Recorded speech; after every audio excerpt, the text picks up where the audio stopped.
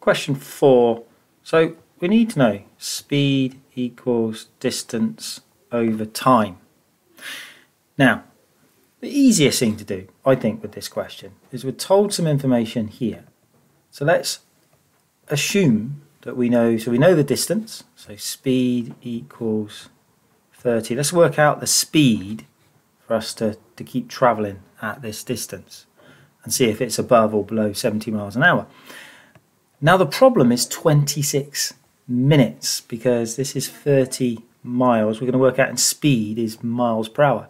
So the problem is the 26. So we need to get that in, remember uh, time isn't, uh, isn't decimal. So 26 over 60.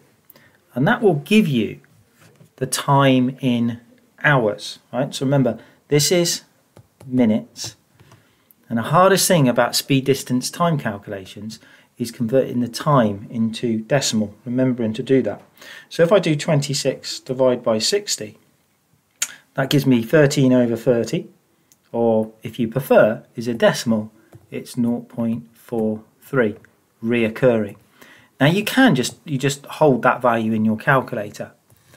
And if we do 30 divided by that number, so 30 divide, and then if we just using your answer button, and it equals, so we're going to go at 69.23 miles per hour. Notice now 69.23 is less than 70 miles per hour.